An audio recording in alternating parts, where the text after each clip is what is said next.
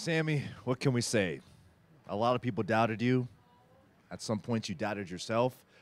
But here we stand at WrestleMania 40, and you ended the 666 day streak as Intercontinental Champion of Gunther, and now you, my friend, are now a four time Intercontinental Champion.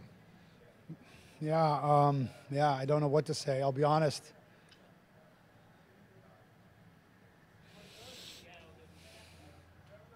It's hard to put it into words. Uh,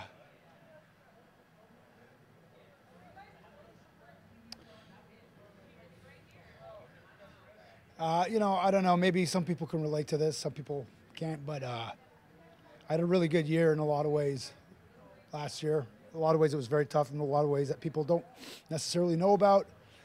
Um, when you do something big, sometimes it's really hard to reconcile with what's on the other side of that because you might have to come face to face with the fact that it might not be, I don't know, as big, as good, as, as whatever. That you might not be as big, as good. And the shadows that are behind you um, can, can seem like they're bigger than anything that's ahead. And uh,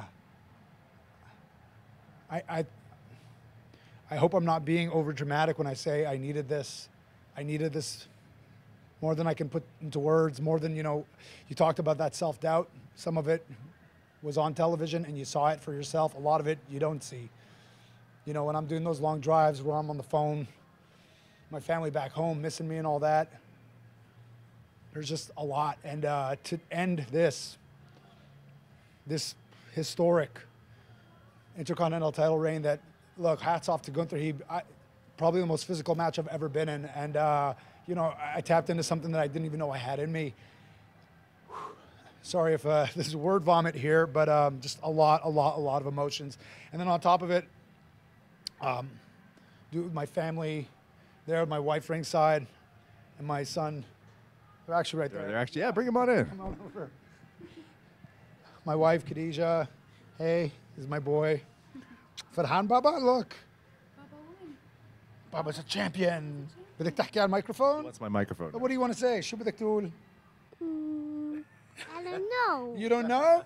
Are you happy Baba won? You know, right before I went out, he said, you can do it. And um, man, that hit me.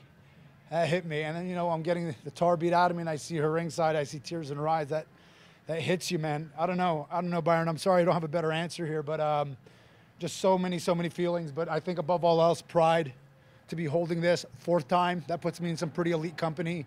Uh, but this is the most elite company I care about right here. They're standing right next to me, and uh, I feel like the world's mine right now. Sami, tonight your dedication and your passion paid off. Congratulations. Enjoy the win with your family. Thank you so much, Byron. Really appreciate it. Thank you. Thank you.